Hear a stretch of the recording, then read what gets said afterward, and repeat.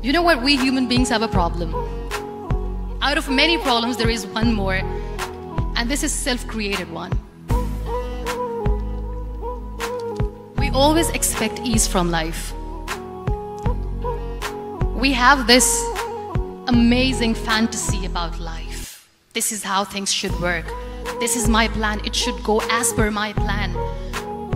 If that doesn't happen, we give up. My dear friends, let me tell you one thing. I never wanted to be on the wheelchair, never thought of being on the wheelchair. I was always aspiring to do bigger things, but had no idea that for that I have to pay the price to be where I am today. It's a very heavy price. This life is a test and a trial, and tests are trials are never supposed to be easy. So when you are expecting ease from life, life gives you lemons, then you make the lemonade, and then do not blame life for that, because you were expecting ease from a trial. Trials make you a stronger, better person. Life is a trial, every time you realize that.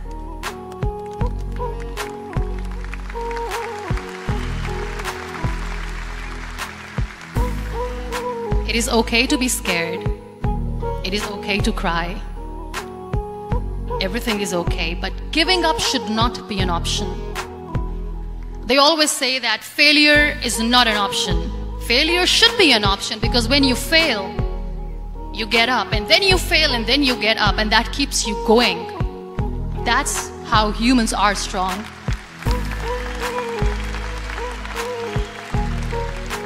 Failure is an option, should be an option, but giving up is not. Never. We have this thing in minds. We call it perfection. We want everything perfect. We want ourselves to be perfect. There is this image in our head about everything perfect life, perfect relationships, perfect career, perfect amount of money that we need to earn no matter what. Nothing is perfect in this world. We all are perfectly imperfect, and that is perfectly all right. That's all right. You were, we were sent here not to become the perfect people. Those people who tell you how to look perfect, even those people are imperfect. Trying to fight this fear of looking imperfect. I used to be perfect. I still remember. I got this compliment years ago when I used to walk. Oh my God, look at you. You're fair, you're tall, you're perfect. Look at me now.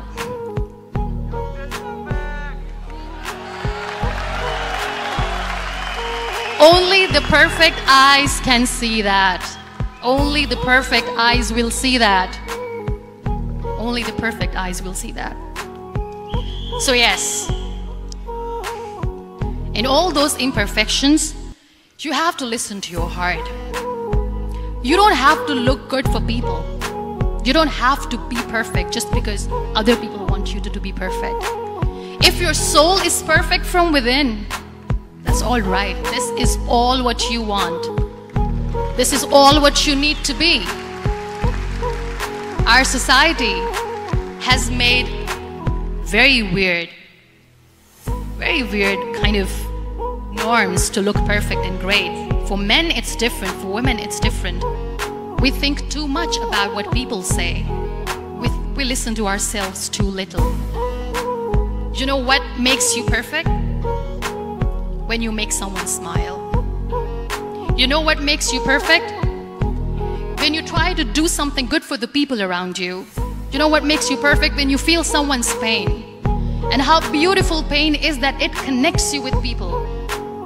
No other medium can connect you with others but pain. That's why I always say that I'm in pain and that's a blessing in disguise for me. Today, just because I'm in pain and I'm on the wheelchair, I work for children. Being the head of CSR for a company, we conduct medical camps in far-flung areas of Pakistan where so many kids die because they don't have medical facilities. And I personally believe just because they cannot afford to live doesn't mean we'll let them die. So we give them money, we give them medical treatment, we try to heal their wounds, physical and emotional. And I also work for the beautiful people, we call them third gender, the transgender community of Pakistan. You know what connects me with them? All my imperfections. When I go and I hug them, they never judge me. And this very good friend of mine, her name is Bijli. Bijli means electricity. She calls herself electricity. And I said, Are you electricity? She says, No, I'm lightning. I'm as strong as lightning. Because we have because we have very bad power outage, so she doesn't want me to call her electricity. So she says, I am very strong. I'm thunder, I'm lightning.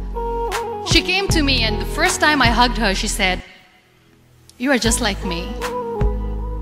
And I said, Yes, I am like you. Because to people, we are so imperfect.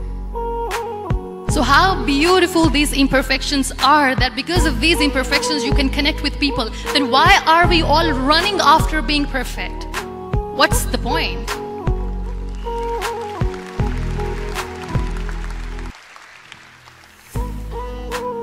Every time I go in public, I always smile. It's always a big toothy smile on my face, and people ask me, Don't you get tired of smiling all the time? What's the secret?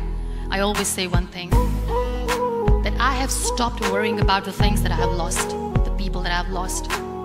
Things and people who were meant to be with me are with me. And sometimes somebody's absence make you a better person. Cherish their absence. It's always, it's always a blessing in disguise. I always say that people are so lucky they don't even realize. You must be thinking, okay, you're lucky in what sense? Well, the breath that you just took was a blessing. Embrace it.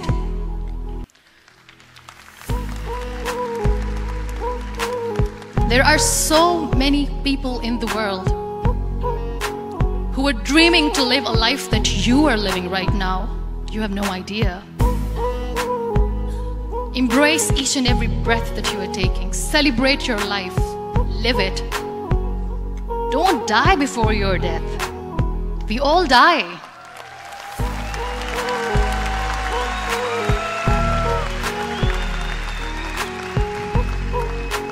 We live this one routine of a day for 75 years and we call it life. No, that's not life.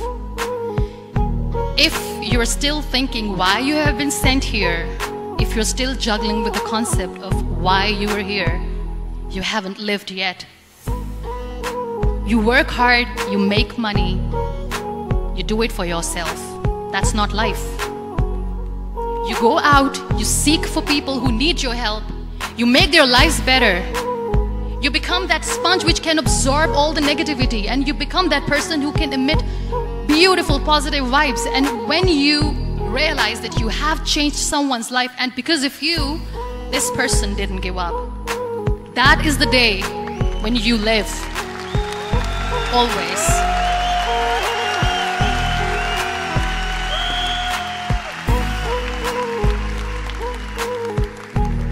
We were talking about gratitude, why I smile all the time.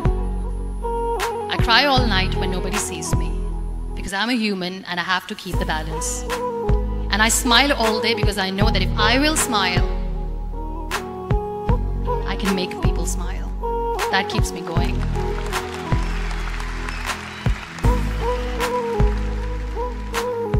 Be grateful for what you have.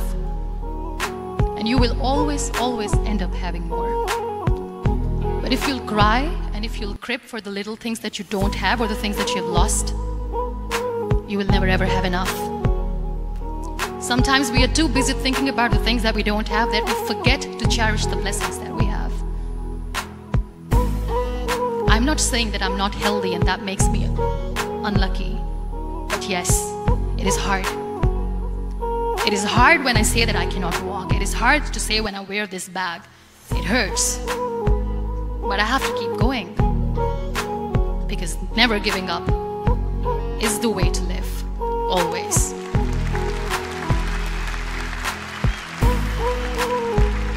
So I'll end my talk on a very short note.